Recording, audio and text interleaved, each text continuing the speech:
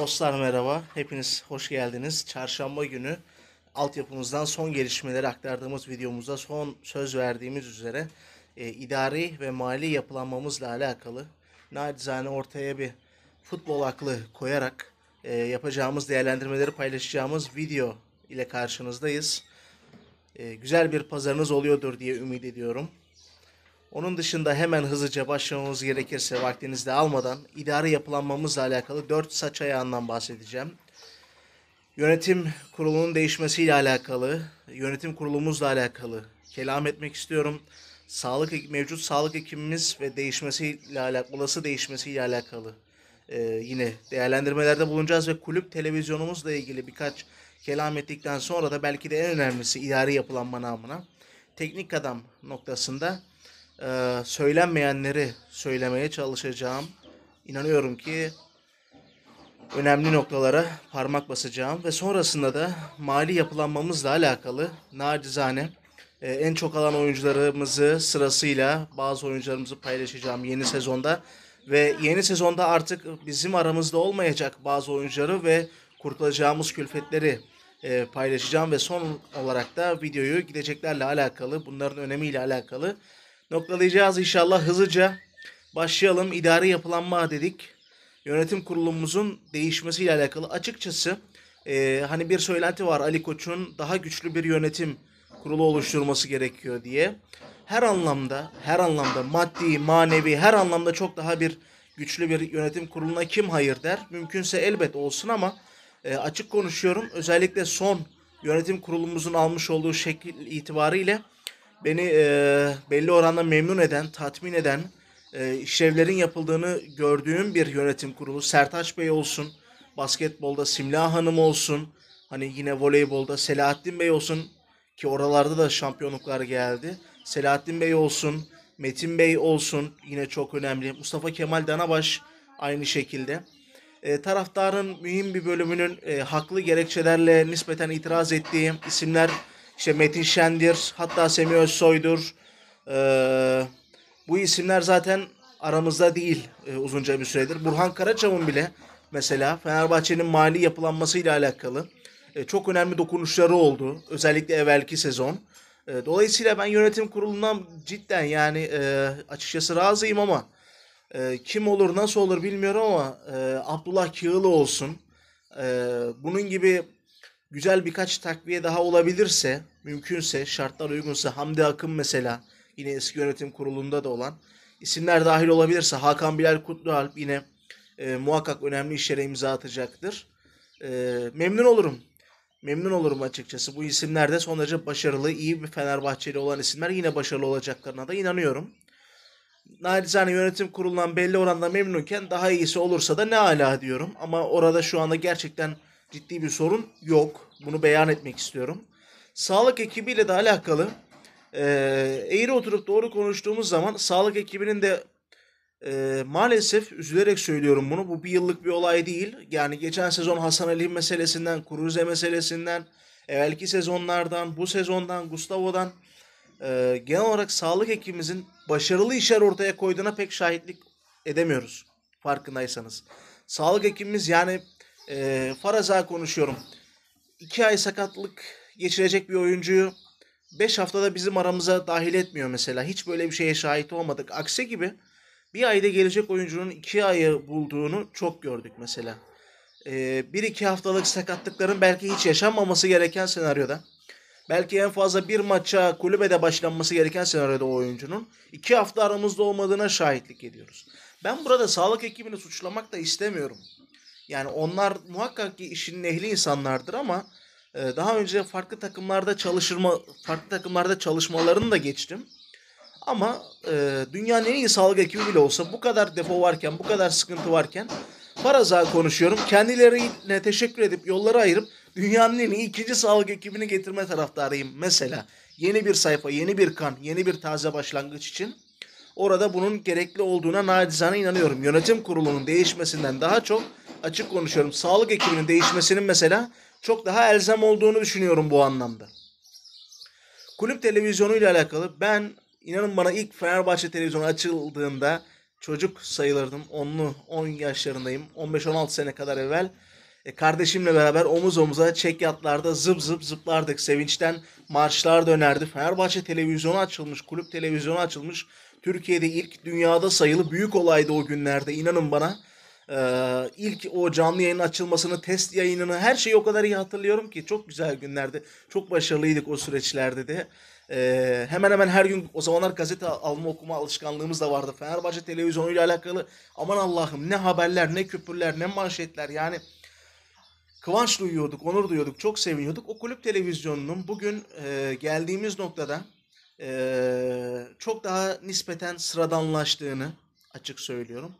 Ve e, kendisini eleştirme namına. Şimdi dışarıdan söylüyorlar ki Fenerbahçe taraftarı kendi Fenerbahçe ben Fenerbahçe camiasının genel olarak kendisiyle fazla bile uğraştığını, genel olarak kendisiyle kendi kendine fazla çok kendi kendini topuna sıktığını, kendi kendini fazlaca eleştirdiğini.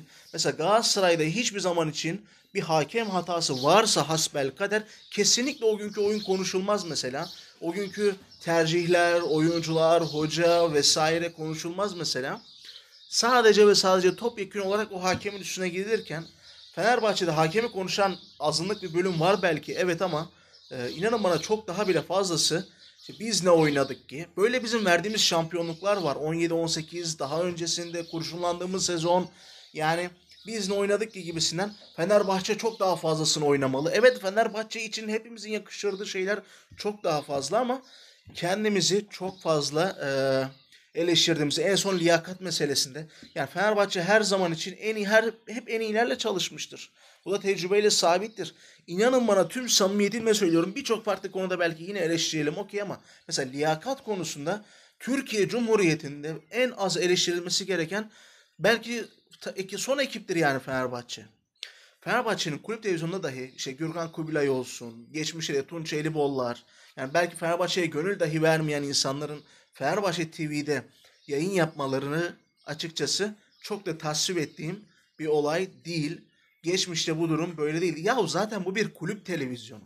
Elbette ki taraflı olmalı iken hep zaten Fenerbahçelilerden beklenir bu tarafsızlık. Farklı bir yayın kuruluşunda da farklı bir te- televizyonda da yine Fenerbahçeli olduğu bilinen bir yorumcunun hep objektif olma namına Fenerbahçe hakkında ne ekstra yanlış eylem ve söylemlerde bulunduğunu yıllarca gördük. Ya bizim efsanemiz, efsanemiz Rıdvan Dilmen bile bizi geçmişte o kadar üzdü ki hatırlayın yani. Rıdvan Dilmen bile bizi çok defa üzmüştür yani. Her neyse hepsinin canı sağ olsun diyelim ne diyelim ama kulüp televizyonunda en azından biraz daha e, Fenerbahçe tarafı olunmasını önemli rica ediyorum. Nacizane bir tespitimdir. Ki kulüp televizyonu da sıklıkla izleyen biriyimdir. Yıllardır. Bunu bu yüzden bu şekilde e, deklar etmiş olayım. Ve son olarak idari yapılanma ile alakalı belki en önemli kısım teknik adam meselesi. Burada gerçekten söylenmeyenleri e, söylemeye çalışacağım. Dostlar, aziz dostlar. Bizim için Emre, Ali, Veli, Selami, Aykut, Ersun, şu bu. Bin tane Ali, bin tane Veli, bin tane Aykut Ersun feda olsun Fenerbahçe'ye. Bin tane Hamza feda olsun Fenerbahçe'ye. İsimlerin bir önemi yok. İsimlerin hepsi gelip geçici. Fenerbahçe'dir asıl olan. Bunu asla unutmayın lütfen. İnanıyorum birçoğunuz da öylesiniz. Şahıs sporlulardan değiliz. Fakat e, Emre Belezoğlu genel anlamda artık şeytan tüyü mü var dersiniz. Tılsım mı var dersiniz. Ne derseniz deyin. Çok başarılı bir insan her anlamda. Türk futbol tarihinin en kariyerli oyuncusuydu. En kariyer daha bir tane daha kariyerli başarılı bir oyuncu yok. Açın bakın. Türk futbol tarihinin en kariyerli oyuncusu. Daha üstü yok. Emre sportif direktörlükte yaptığı transferlerde ne kadar başarılı olduğunu bize bir kez daha ispatladı. Birçok bildiği yabancı değil. Yani Emre'nin meziyetlerini mi sayalım? Derdim o değil. Emre Belezoğlu illa kalsın falan da demiyorum. Fakat bazı gerçekler var. Şimdi oraya geleceğim. Nedir o gerçekler? Ee, sürekli bir sirkülasyon olması bir defa bir yanlış. Sürekli bir sirkülasyon olması yanlış. İki, zaten sürekli sirkülasyon yapıyorsanız sürekli hata yapmış oluyorsunuz otomatikman. Yani doğruyu bulma şansınız olmuyor ki zaten sürekli değiştirdiğiniz zaman. Faraza konuşuyorum. Emre Belezoğlu doğru bir isimse gönderdiğiniz zaman doğru bir ismi göndermiş oluyorsunuz işte. Faraza konuşuyorum. Yanlışta ısrar etmeyelim okey. Ama Emre Belezoğlu'nun yaptığı bir yanlış da yok ki. 10 maç aldığı puan 23 puan. Yani ligin e, daha az maç oynadığı halde ligi lider bitirmiş kendi haftalarında. Bir maçı da eksik ve lider. Ve şunu da e, çok önemli bir şekilde söylemek istiyorum. Dostlar Emre Belezoğlu'nu ben bu kadar tarifliyorum ama Emre Belezoğlu'nun sportif direktör olmasını istemiyorum. Bakın açık konuşuyorum. Kendimizi eleştiriyorum. Kendimizi eleştiriyorum. Normalde ben bunu açık mecralarda, Twitter'da, şurada, burada hatta YouTube'da pek yapmam. E, dost meclisinde kendi kardeşimle, kendi yakın arkadaşlarımla, yakın dostlarımızla, aranızdan bazılarınızla özel olarak konuştuğum zaman DM'de vesaire söylüyorum bazen. Emre Belezoğlu'nun o ilk basın açıklaması e, YouTube kanalımızda da Fenerbahçe YouTube'da da yayınlanmış 33 dakikalık basın açıklaması Erol Bulut'tan sonra. Bizim için skandal ve fecaat, fiyasko. Neden? Emre Belezoğlu o gün yazmadım tabii ki böyle şeyler ama hissettiklerimi bir ben bilirim. Emre Belezoğlu diyor ki benim hayallerimdi hocalık yapmak.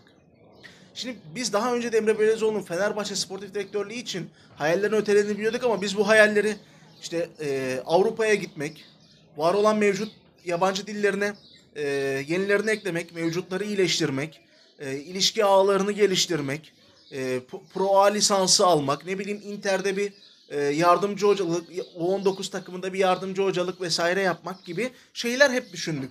Doğru mu?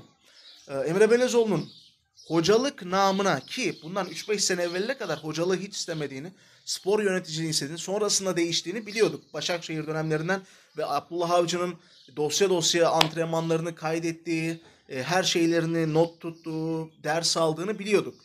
Fakat sonrasında e, A takım hocalığı için kesin bir beyanatı yoktu ve biz hep hayallerini farklı düşündük ama meğerse Emre Belözoğlu A takım mümkünse de Fenerbahçe A takım hocalığını çok istemiş. Hayallerini süslüyormuş.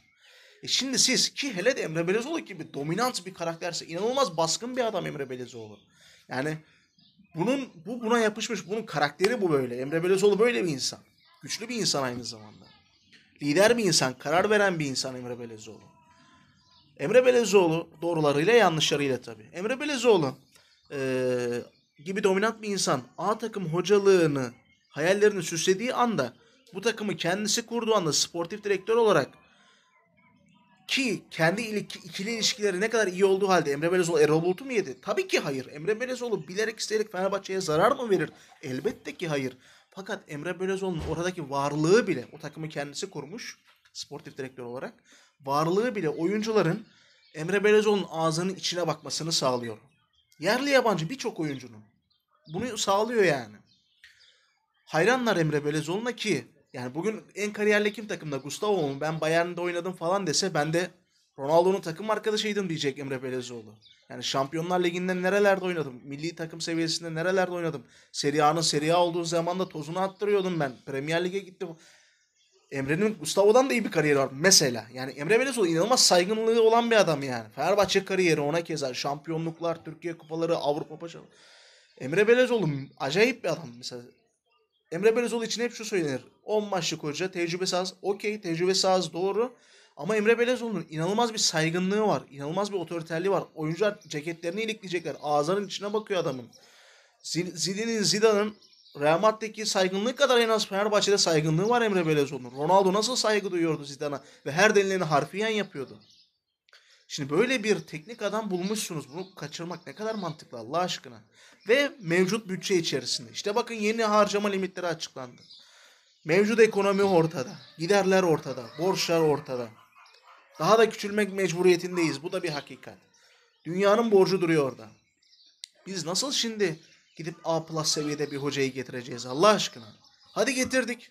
Hasbel kadar 5 milyon euro da maaşını verdik. Hasbel kadar ki oyuncular şey o ada, teknik adamlar 5 milyon euro da gelmezler ve gelseler de başka başka şeyler isterler. Mesela açık konuşuyorum. Galatasaray Mancini'yi getirdiğinde Roberto Mancini'yi getirdiğinde e, Seri B'den sana takım alacağız diye getirdiler. Sonra sözleri de tutmadılar. Ayrı kişisel husumetleri hala sürüyor Ünal Aysal'la. Mesela. Ki dünyanın parasını da alıyordu o da ayrı konu. Seri B'den sana takım alacağım diye getirmen lazım bu adamları yani mesela. Buraya gelmeleri için. Yoksa niye sana gelsin? En ölüsü, en kötüsü gider Lazio'da, Roma'da, Fiorentina'da yine çalış takım çalıştırır mesela. Dolayısıyla e, bu da çok önemli. Bu kısmı atlıyorum. Tek, Emre Belezoğlu'nun sportif direktör olmaması gerektiğini, başarılı bir insan olmasına rağmen Emre Belezoğlu hoca olmamalı ama kulüpte yan bir görev alan. Hayır, Emre Belezoğlu yan bir görev alamaz. Bu adam bir numara olmak zorunda olacaksa. Bu adam karar vermek zorunda. Bu adam lider olmak zorunda. Aksi yerde sorun olur, sıkıntı olur. En iyi ihtimalle en iyi senaryoda A plus gelecek bir hocanın ki nasıl mümkün olabilir bilmiyorum ama yanında yardımcılık yapabilir belki ama burada bile açık kapı bırakıyorum ki yine sorun olabilir. Yine açık kapı bırakıyorum orada. Yani ya Emre Belezoğlu hoca olarak devam etmeli ki buna birçok farklı nedenden dolayı saydığım ve saymadığım birçok farklı nedenden dolayı buna daha yakınım. Ama olmuyorsa da Emre Belezoğlu'yla teşekkür edip yolları ayırmamız lazım. Ki buna taraf değilim. Ama yan bir rol verilmesi son derece yanlış olur. Birinci mertebeden karar verecek, o kararı uygulayacak aynı zamanda kişi olmalı Emre Belezoğlu. Futbol aklı ona emanet edilmeli tabiri caizse. Mali yapılanmamıza geleyim hızlıca. Bu kısmı biraz daha hızlı geçeceğim. Ee, bildiğiniz meseleler ve yüzeysel geçeceğim daha doğrusu. Detayına daha sonra inşallah ineceğiz ama bizim yeni sezonda Mesut Özil 3 milyon euro. Envana Ali Samat da 2,75 milyon euro. Keza Gustavo aynı şekilde 2,75. Sosa 2,25 milyon euro. Nabil Dirar 2 milyon euro geri dönüyor. Marcel Tisserand 1,6 milyon euro ve Filip Novak 1,55 milyon euro garanti ücretleri var. Vergiler, primler, bonuslar hariç. Attıkları imza gereği bir maça dahi çıkmasalar yattıkları yerden bu parayı alacaklar. Bu da 15 milyon euronun üzerine bir bütçe demek. Ve Fenerbahçe'ye bütün takımının oyuncu grubundan bahsediyorum. Personel maaş giderinden bahsetmiyorum toplam. Oyuncu maaş giderlerinin yarısına yakını demek. Yaklaşık yarısı kadar bir para veriyoruz bu 7 oyuncuya. Dolayısıyla buradan artık Samat mı olur, Gustavo mu olur, Sosa mı olur, Dirar mı olur, hepsi birden mi olur, Tisserand'a kadar. Bir şeyler yapmamız gerekiyor. İndirim mi alırız, satar mıyız, bonservislerin eline veririz de maaşlarına mı karışmayız, nasıl, neyi nasıl yaparız bilmiyorum. Buraya neşter vurmak zorundayız. Ama bir oyuncuya, ama üç oyuncuya muhakkak bir yerde bir e, tasarruf yapacaksak, bir yerde bir neşteri vuracaksak buraya bunu yapmamız lazım. Yine söylüyorum 15 milyon euronun üzerinde bir garanti ücreti bu 7 oyuncuya veriyoruz biz. Aramızdan ayrılacaklar. Altyapı oyuncularımız hariç Oytun, Ömer Faruk Beyaz ve birkaç oyuncu daha var. Bunlar hariç, altyapı oyuncuları hariç. Harun, Harun Rodriguez, Gökhan ve Sisse. Bunların bizden aldığı para 3,15 milyon euro garanti ücret ve 17,5 milyon TL garanti ücret alıyordu bu 4 oyuncu bizden. Artık al, alamayacaklar yeni sezonda. Kontratları bitiyor. Ve son olarak mali yapılanmamızla alakalı, kadro ile alakalı şunu söylemek istiyorum. Evet transfer transfer transfer muhakkak gereken yine yapılacaktır. Ki başkanın son basın toplantısında başkan adayını açıkladığı noktada bence en önemli en e, hatalarından ders çıkarıyoruz dediği noktada bunun altını doldurabilmek ve gerçeği aynı zamanda bize iletmek anlamında bir takımın bir iskeletinin var olduğundan haberdar olmaları, bunun farkında olmaları ve takımın en az %70'inin korunacağı, yaklaşık %70'i diyelim veya korunacağı e, bütün kulübeye yatırım transferleri olsun, ilk 11 olsun toplamda %30'luk maksimum bir değişim olacağından dolayı ben çok sevindim. Yani çok doğru bir hamleydi. Ee, gideceklerin önemi burada daha bile büyük önem arz ediyor. Bakın kiralıktan dönecek 12-13 tane oyuncumuz var. Hatta 14 tane olması lazım. Yani hepsi toplam 14 tane oyuncu yapması lazım. Kiralıktan dönecek oyuncu sayımız. Altyapıdan yetişen değerli oyuncularımız var. Önümüzdeki sezon e, A takımda rotasyon beklentisi olsun. Farklı beklentileri olan oyuncularımız var. Yetenekli, değerli oyuncularımız var. Arda Gülerler, Uğur Yıldızlar, Fatih Şanlı Türkler. Kimler kimler. Daha da onların da altından geliyor ve 19 oynayacaklar. Sonraki sene yine sizden talepler olacak. Vesaire vesaire. Arda Okan Kurtuluğan'a en son profesyonel sözleşme verdik. E, mevcutta hali hazırda zaten birçok bölgemiz şişkin. Bu da bir gerçek. Gidecekler daha bile büyük önem arz ediyor. Fenerbahçe'de Fenerbahçe'nin bir futbolcu ordusu var arkadaşlar. Maaşını ödediği. Bakın biz mesela kimseye Falcao'ya, Feguli'ye, Babel'e, Vida'ya verilen parayı vermiyoruz. Mesut dahil vermeyeceğiz de. Ama Beşiktaş'tan bugün oyuncu grubuna verdiğimiz para 2-3 milyon euro daha fazla ve Galatasaray'da aramızda ciddi bir fark yok maalesef. Bu paraları vermediğimiz halde çünkü oyuncu sayımız rakiplerimize göre çok daha fazla. Kadrodaki oyuncu sayımız oldukça fazla ve dolayısıyla şişkin. Her bölgede hiç yoksa gencimizle kiralığımızla toplam hiç yoksa 4 tane futbolcu var. Her mevkide bek olsun, santrafor olsun, kale olsun belki 5-6 tane oyuncu var gençlerimizle beraber. Bunları artık satacak mıyız? Kiralayacak mıyız? Forma veremediğimiz oyuncular. Tiam sezonun yarısında forma veremedik. Ve diğerleri nice bir sürü. Evvelki sezon Tolgalar, Tolgaylar, Jasonlar. Jason'u stopere çekiyoruz. Hala e, Alper Putuklar yani o kadar merkez orta saha şişkinliği. Gustavo takımda 6 tane 6 numara var. Gustavo geldi. Ozanlar. Yani çok şişkin bir kadro vardı. Hala bazı bölgelerde çok şişkinliğimiz var. Gerekeni yapmamız lazım. Bunun önemini, bu daha bile önemli olduğunu yine söylüyorum. Çünkü bir oyuncuyu oynatamadığınız zaman yeteri sayıda aynı zamanda bir yaş daha yaşlanıyor ve değeri düşüyor. Haybeye maaş ödemiş oluyorsunuz. Yarın bir gün satsanız satamazsınız. Oyuncunun oynaması lazım. Halbuki Jason gibi farklı bir mevkide oynadığında bile nispeten hatta kötü bir performans verdiğinde bile ama oynadığı için oynamış. Adam transfer edecek oyuncuya bak- bakıyor. Bu adam geçen sene işte 40 maça çıkmış. Bir de bakıyor bu adam geçen sene 12 maça çıkmış. İşte aynı şey mi Allah aşkına? Dolayısıyla o 40 maça sattığın adamı 3-5 milyon euroya bile olsa satabiliyorsun. Ama o yetenekli de olsa, değerli de olsa, yaşı daha bile genç bile olsa 12 maça çıktığı zaman o oyuncuyu satamıyorsun. En iyi ihtimalle kiralayabilirsin. Sonrası da Allahu alem. Dolayısıyla ve ve sen bu adam oynamadığı süre için maaş verdin. Oynatamadın, maaş veriyorsun. Yaşlanıyor, değer kaybı oluyor vesaire vesaire. Buraları artık yaşamak istemiyorum. Fenerbahçe'nin her geçen zaman zarfında son yıllarda daha iyi yönetildiğine şahitlik ederken, mutluluk duyarken, daha az bütçelerle daha iyi işleri yapabileceğimiz inancını yürekten taşırken artık bu bazı detay ama önemli hataları da yapmamayı, ders aldığımızı görmek istiyorum, çok istiyorum. İnşallah iyi olacak diye ümit ediyorum. Nacizane idari yapılanmamız ve mali yapılanmamızla alakalı bazı konulara değinmiş oldum. Tüm bunlara ve çok daha fazlası hakkında siz de yorum ve görüşlerinizi belirtebilirseniz gerçekten çok sevinirim. Sohbet edebilirsek nacizane. Dostlar seviyorum sizleri. Çarşamba günü çarşamba günü değerli stoperimiz lütfen bir internetten FM profilde en azından bir inceleyin hiç tanımıyorsanız bile Gürkan Başkan ona inanıyorum ki, ona iddia ediyorum ki Twitter'da e, son bir yıl, belki bir yıl aşkın süredir kendisini benim kadar zikreden ben görmedim en azından öyle söyleyeyim. Ee, insanlara Gürkan Başka anketler açtım tanıyorlar, tanımıyorlar vesaire gibisinden. Milli takımın geniş havuzunda yer alan, milli takımda da oynayan evvelki yıllarda oyuncu. İlk olarak ismini daha ben FB avukat hesabından önce de şahsi hesabımda da görsel olarak da ayrıca da çokça kendisini paylaşmışım. Ömer Faruk Beyaz'ın kesi kornerden bir top var çıkıp kafayla Galatasaray'a karşı son dakika attığı bir gol vardı. U17'de ve kazandığımız çok kritik bir çok şampiyonluk yolunda önemli bir maçtı evvelki sezon. Çok acayip derecede iyi bir çocuk, iyi bir potansiyelli bir stoper. E, fiziği bir kere çok iyi. Gürkan Başkan'ı anlatacağız çarşamba günü. Muğla Spor kiralık raporundan bahsedeceğiz. Yeni sezonda bakın işte gideceklerin önemi diyorum. Mevcutta 5 tane stoperimiz var. Stoper oynayabilecek oyuncular hariç Gustavo'su vesaire. 5 tane net stoperimiz var. Zanka dönecek. Gürkan geliyor. Altyapıdan Kemal Bayrak, Bora Çuha. E, stopere yeni bir de transfer yapılıyor. 10 tane etti mi size trans stoper? Gidecek. Bunlardan bazılarını göndermemiz lazım ama satmamız. Neyse artık gerekeni yapmamız lazım. Çarşamba günü Gürkan Başkan videosu gelecek sevgili dostlar. Sizleri seviyorum. Sürçülisan ettiysem affola. Hoş kalın, hoşça kalın. Sarı laci.